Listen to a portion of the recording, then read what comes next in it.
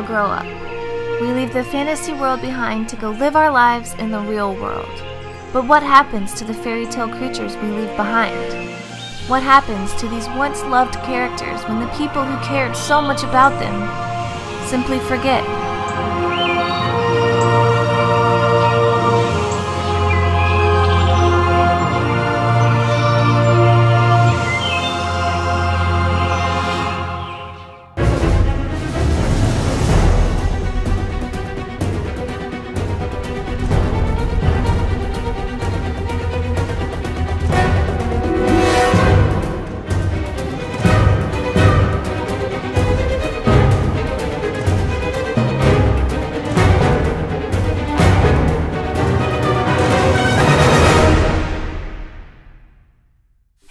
To kick off this forgotten old wooden bridge dwelling termite riddled troll tutorial, let's start off with a quick celebration for making it into the NYX Face Awards Top 30!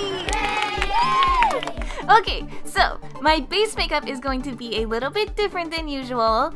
To create this troll look, I am going to be using prosthetics, which is something you have never seen here on my channel, and that is because it's something I am very new to, and because of that, I'm not going to go too much into how I made these pieces. I am still learning this myself, so I don't want to steer you down the wrong path by attempting to teach you something that I am still a total newbie at. So for this look, I made a nose piece and a mouth jaw thing. For latex pieces like mine that are lightweight and hollow, it is much easier to pre-paint them before applying. But for the sake of this video, I wanted to paint them on my face so I could show you what I'm doing, you know? So, to give them the support they need, you can fill them up with cotton balls, but if you do this, be aware that having cotton covering your mouth and in your nose piece will reduce your ability to breathe freely, so make sure you leave a clear pathway in the cotton from the nose holes to your nostrils. Okay, now let's get to tutorialing. Tutorialing? Sure, why not? I start by applying the jaw piece first. Using a prosthetic adhesive, cover the areas where the prosthetic is going to be making contact with your face. For this piece, that means all around my mouth and around my jaw. Also put some adhesive on the prosthetic too for some extra stick. And once it's tacky, start by attaching the center of the prosthetic first and work outward. I use a palette knife to smooth out the edges as I go, instead of using my fingers just to keep them from getting all sticky, but using your paws works just fine too. Add some extra adhesive to any stubborn edges and smooth them out again before moving on to the nose. For the nose, do the same thing. Adhesive on the face and on the prosthetic, attach the center first and move outward, and you're good. To blend the edges of your prosthetic, do a few laps around the edge, coating both the prosthetic and your skin with latex. I created the nose and mouth pieces separately because I think it's generally easier to apply smaller pieces, especially for beginners, but the downside to having them as two separate pieces instead of one seamless piece is that it does leave room for things to not line up perfectly. If you have any gaps or edges that need smoothing, try using latex and tissue paper to bridge these gaps. Put some latex down first, add a single layer of toilet paper or tissues or whatever you have, and then saturate it in latex to seal it up. Add as many layers as you need until it does the job you're aiming for. I have found that using tiny bits of tissue paper is my favorite beginner trick to help you hide your problem areas, so you'll see that I use it a lot in this tutorial. Alright, real quick. This is something I would normally cut out of a video like this, especially in a video for, say, the NYX Face Awards where everyone is totally amazing at makeup. but I do think that this is important to say. It is 100% okay to mess up, especially when you're new to something. It is for sure gonna happen. Just fix it and keep going. There is no shame in making mistakes, it's how you learn, so don't feel bad. Okay, back to your regularly scheduled tutorial. Once everything is applied and dried, it is time to create that gnarly cheek and forehead texture. This forgotten troll lives under a forgotten bridge, which has been left to decompose and decay. Termites have infested the rotting wooden bridge and the troll that lives underneath it. So to create the termite damage on our troll face, I am using cotton and latex which is a very common method that is a cheap and easy way to create gross textures, cuts, scabs, burns, all kinds of things. Put down some latex, unravel a cotton ball and form it into the shape you want, stick it on and saturate it in latex again. Easy as that. I'm using my palette knife to push the cotton into these weird little lines that termites make when they are eating something. For example, a troll. I am purposely creating a ledge here because I'm going to be adding some little termite guys to this area later, and I want them to be able to sit on these ledges and in these holes. Repeat all over your face. Now that we are looking all amazing and beautiful, it's time to move on to makeup. Once all of your adhesive and latex and everything is dry, powder it with a loose powder to remove the shine before starting with color. For this troll's base color, I'm going to be using NYX's HD foundation in the color California Tan, which is kind of a funny name for the complexion of a bridge-dwelling troll, but just go with it. I'm applying this foundation all over my face, neck, and chest, over the prosthetics, on my ears, in my hairline, everywhere except right around the teeth sockets. I want those to stay pale and kind of gross looking, like the skin there is much thinner. Next, I use three different colors of NYX's mineral foundation sticks, one at a time. I use the stick to transfer product to this little sponge before stippling skin texture all over my face. I will also be adding in a green lipstick and a yellow eyeshadow to the stippling process to add a splash of color to the skin that matches the troll's natural environment. Using a variety of colors while stippling will add depth to the skin and will also help disguise the edges of the prosthetics. Oh, and side note, creating gross, rough-looking creatures like this is a great way to start in the world of prosthetics and special effects makeup, Weird textures, prosthetics not blending properly, all of that kind of stuff that comes with learning a new craft is much more excusable and can even be passed off as intentional when it makes sense for your character. Elaborate textures are surprisingly easier to achieve than anything that is perfectly smooth, so keep that in mind if you are just starting out. After the skin is sufficiently gross, I am taking the matte deep brown eyeshadow from the Full Throttle Shadow Palette in Easy on the Eyes and sweeping that between these big faux burly brows that I'm building here. the dark brown eyeshadow offsets the yellow eyeshadow that I put down earlier and makes it look like the brow bone really sticks out. I am also using this brown to hollow out my eye sockets a little bit for now, but we'll come back to that later. Then I'm using the brown from the Deep Conceal Correct and Contour palette to add more direct detailing between the brows, and I add a few wrinkles along the ridge of the nose too, Using that same color, I start to fill in a few places around the face, like darkening up some moles and shading around the nose and teeth before getting to the termite holes. Now it's just like a coloring book. Just take that dark concealer and fill in all of the holes that we made earlier with the cotton and latex, and the ones that are on the chin piece too. These holes aren't too deep, so keeping them just a few shades darker than the skin tone is good. The darker you make them, the deeper they look, so go ahead and make them as dark as you want.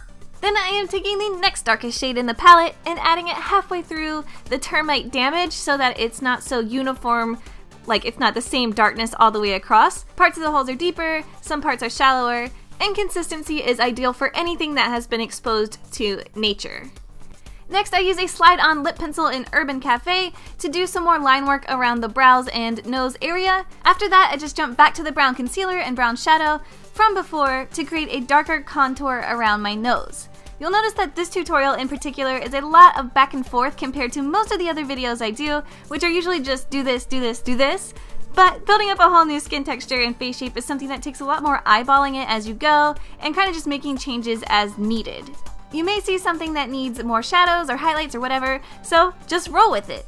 Now I am adding some black eyeshadow to the deepest parts of my face, which is the inner corners of my eyes. Mix that across your lid with some brown eyeshadow. Remember, we aren't going for a look that is nice and refined, so for once, don't spend too much time blending your eyeshadows. Now I'm just going to pop a highlight along the tops of the termite holes using the light yellowy color from the Conceal Correct and Contour palette. Okay guys, this. This is one of my fave parts of this look. One quick way to go from average human to abandoned troll who lives under a bridge is huge, fluffy, ridiculous, can't be tamed eyebrows.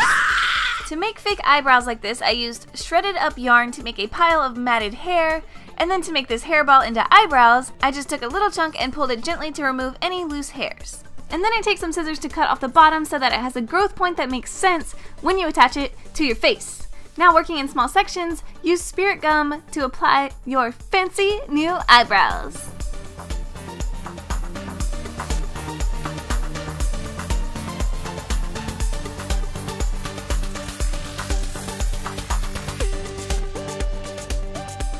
Now the only thing really missing is our big troll teeth. For fun, I added a gummy color underneath the teeth using a liquid suede lippy, but that is going to be covered up, so, you know, no pressure. Although, it is pretty cool if something happens during your troll adventures and one of your teeth falls out and you're all prepared with colored gums and stuff. But anyway, onward! Like my jaw and nose, these teeth are also latex prosthetics that I made at the same time as the jaw piece so that I could make sure each tooth would fit in its individual socket. To color the teeth, I start by going over the whole tooth with NYX's Jumbo Pencil in Milk as a base, if you don't do this, eyeshadow won't stick to the latex, so make sure you base it with some kind of primer or jumbo eye pencil or something like that. Then I cover the whole thing in yellow eyeshadow. I'm using NYX's Primal Color in Hot Yellow to tint the tooth. Then I use the same deep brown mineral foundation stick that I used for texturing my skin, which is the color Cocoa, to color straight on the bottom half of the tooth. Then rub the foundation over the latex with your fingers to blend it and dirty up the yellow color.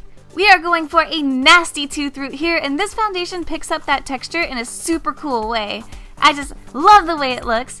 Um, and then just brush it over with a brown eyeshadow to spread the look of loose dirt on the tooth. Now to attach the tooth to the jaw, just put some adhesive both into the tooth socket and along the base of the tooth. Once it's tacky, pop it in there and hold it in place until it dries. Repeat for all your other teeth, all four of them. Trolls aren't known for their beautiful teeth, okay? Finally, apply a brown lip gloss to add a sheen to the areas that would be wet if this were a real troll mouth. around the teeth, around the nostrils, and all back up in that area between the mouth and the nose. I guess like the upper lip area if this guy had lips. okay, so if you're going to be doing contacts and eyeliner, probably should have done that before putting these giant teeth in, but whoops, it still works. Put in some brown contacts and add NYX's Wonder Pencil to the waterline. The final component of this troll's makeup is his little termite bugs that are infesting his home and his face. I made these cute little guys using latex for lightweight flexibility, foundation for coloring, and clear nail polish for the shine. Use spirit gum to attach them to wherever you want on your face. I put them in and around the holes, all up in the gums, and around the teeth because that's just pretty gross and it seems appropriate for this look. this wig. Oh man, this wig. this wig originally looked like this, but if you give a wig to a cosplayer, this kind of thing is inevitable. to style it, it's just a whole bunch of teasing and gluing some clumps of that eyebrow hair in between some of the wefts to make it look like matted troll hair. Alright, this really could have been the end of the video, but something just wasn't right. I start to go a little crazy here, adding all kinds of things like darker eyeliner, darkening the nose, anything to add more contrast because I couldn't for the life of me figure out what was wrong with this troll guy. He looked so cool in person but so flat on camera. So after a quick pep talk from my technical consultant, it dawned on me, it's not the makeup, it's the lighting. I filmed this tutorial using my ring light aka a beauty light whose main job is to fill in shadows and make you look all pretty. But this troll isn't supposed to be pretty, so it's actually doing the opposite of what I needed. So let's light this more appropriately and see this badass troll in all of his contrasty glory. We're done!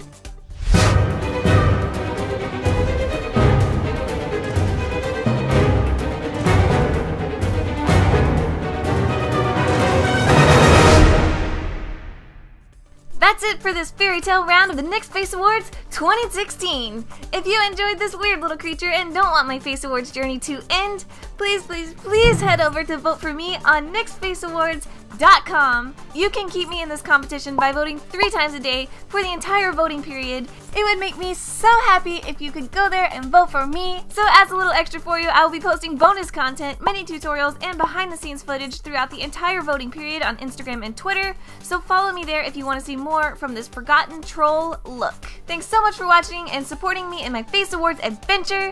I will see you next time. Bye!